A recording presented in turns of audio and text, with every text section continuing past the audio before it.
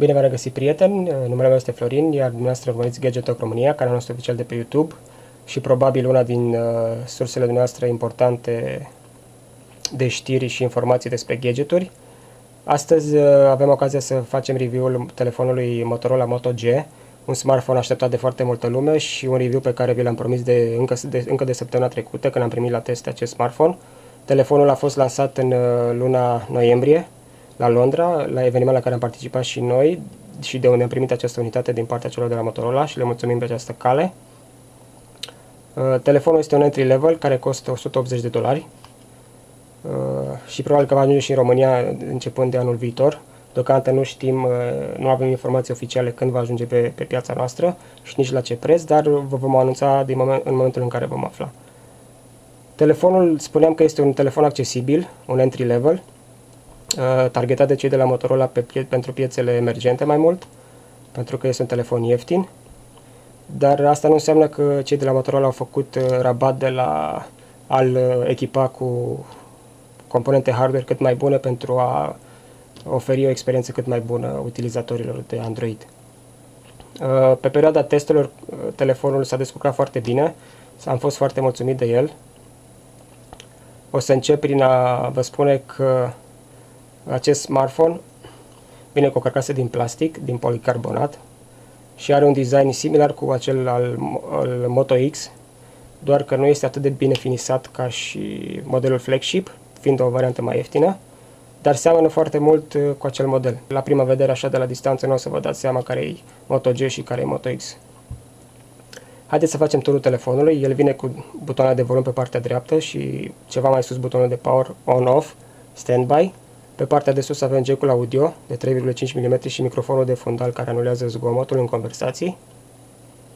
Sus avem uh, earpiece-ul și camera frontală, uh, iar pe partea cealaltă nu avem nimic. Pe partea de jos avem uh, portul micro USB 2.0, iar lângă microfonul de convorbiri telefonice. Pe partea din spate avem camera foto de 5 megapixel cu un LED flash. Aici avem logo-ul Motorola, și aici spuneam sus în partea stângă avem difuzorul pentru sunet, multimedia.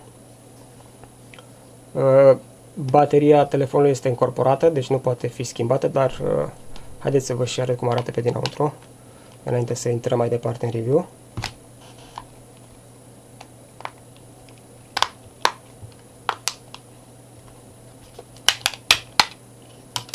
Iată. Deci este o baterie incorporată de 2070 mAh. Aici avem slotul pentru SIM. Este un micro SIM. Cam așa arată pe dinăuntru, cu capacul dat jos. Haideți să-l punem la loc ca să mergem mai departe cu review-ul nostru. Ok, să trecem la partea de aspect și afișaj. Smartphone-ul vine cu un ecran de 4,5 inch în diagonală cu o rezoluție de 1280 x 720 p și o densitate a pixelor de 326 ppi, pixel per inch, iar uh, afișajul este protejat de sticle Gorilla Glass 3, ceva diferit față de ce găsim pe alte telefoane entry level, deci practic uh, telefonul beneficiază de sticle de ultima generație de sticle Gorilla Glass de la Corning. Haideți să mergem mai departe și să vorbim despre partea hardware. Telefonul vine cu un uh, procesor de 1,2 GHz quad-core uh, Snapdragon 400 înăuntru. Vine cu 1 GB de RAM și cu un uh, GPU, accelerator grafic de Adreno 305, care face experiența smartphone-ului să fie foarte plăcută, deoarece telefonul nu are pic de lag. Pe perioada testelor n-am, n-am întâmpinat niciun fel de problemă de lag. Deci, practic, se mișcă foarte bine indiferent ce, ce facem pe acest smartphone. Chiar v-am arătat și zilele trecute un test în care rulam uh, jocul uh, Real Racing 3, care rula foarte bine, deși aveam rulate, uh, pornite în background alte câteva aplicații. Uh, telefonul beneficiază de conexiune Wi-Fi, BGN, uh, Bluetooth 4.0, uh, GPS, uh, radio FM, uh, o baterie de 2070 mAh, spuneam, Uh, haideți să mergem mai departe și să vorbim despre partea software. Telefonul vine cu sistemul de operare Android 4.3, uh, deci este o versiune Jelly Bean și vine cu această interfață stock Android care ajută la fluidizarea și tranziția între, între ferestre, între când schimbăm de pe un ecran pe altul sau dintr-o aplicație în alta. Iată Android 4.3.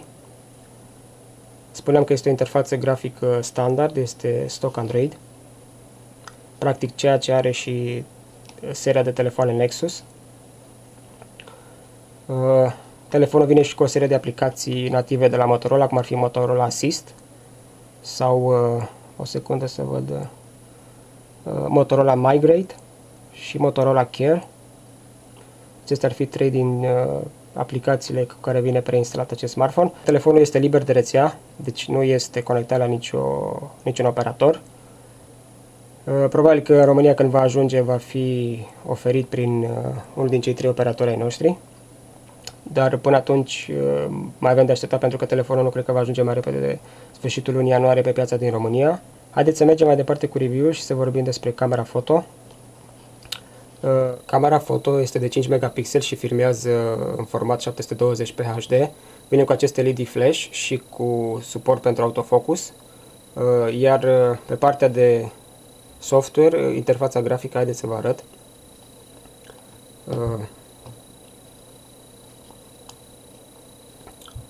sper să se vadă la camera. Vine cu această interfață grafică pe care o accesăm dacă facem slide din partea, din partea stângă în partea dreaptă. Uh, avem prima funcție care este HDR, apoi avem uh, uh, activarea LED-ului flash. Aici avem opțiunea de a activa autofocusul sau a lăsa să fie manual. Apoi avem o funcție de slow motion pentru înregistrarea clipurilor în slow motion. Uh, apoi avem funcția de panorama, locație, uh, aspect ratio, ratio 16 pe 9 și posibilitatea de a face înregistrări video în, cu sunet sau fără. Aici avem butonul care face schimbarea între fotografii și clipuri video, în funcție de ce vrem, iar icoana de jos reprezintă uh, schimbarea de pe o cameră pe cealaltă frontală sau pe Uh, cea din spate sau pe cea frontală. Cea frontală să spunem că este o cameră foto de 1,3 megapixel ce redă video în conferințele video la 720p. Ar mai fi o chestie, putem face autofocusul dacă mutăm acest uh, cursor, îl punem unde vrem și atunci automat telefonul își face autofocus în acel, în acel punct. Iar pentru a face fotografii, pur și simplu facem uh, click pe ecran și el face direct fotografii. Iar pentru registrare video, Apăsăm butonul și automat începe să filmeze. Acum este tot cu tot cu flash, de aceea vedeți în spate această lumină. Fotografiile sunt destul de decente, dar pentru, vă spuneam, pentru partea de uh, low light, în condiții de lumină scăzută, a trebuit să instalăm o aplicație separată de camera, Ultra Camera HD, cu ajutorul care am reușit să facem fotografii ceva mai de calitate față de camera standard, de aplicația camerei standard. Cam atât despre camera foto. Haideți să mergem mai departe și să vă, să vă arăt uh, cum s-a descurcat telefonul în testele de benchmark. Uh, în uh, aplicația Antutu am scos un scor de 17.442 de puncte, sper că se vede la camera, uh, bătând uh, telefoane ca HTC One X sau Nexus 4 și clasându-se imediat sub uh, Galaxy S3. Deci se descurcă destul de bine pentru un telefon accesibil. Iar în uh, quadrant a scos scorul de 8552 de puncte, deci cu mult peste HTC One X, după cum observați. Uh, și oricum ați văzut acel uh, test de, bench, de, de performanță pe care l-am făcut zilele trecute, în care rulam uh, Real Racing 3 și ați observat că se descurca foarte bine, deci n-am avut pic de lag în timp ce ne jucam în, uh, în joc. Plus că aveam în fundal uh, pornite o grămadă de aplicații. După cum vedeți că și, a, și în acest moment avem uh, în fundal o grămadă de aplicații de să vă arăt. Observați câte aplicații sunt pornite și uh, telefonul se descurcă destul de, destul de bine. Deci nu este pic de lag și nu, nu observăm nicio întârziere a ecranului. Haideți să mergem mai departe și să facem uh, concluzia de final a acestui smartphone.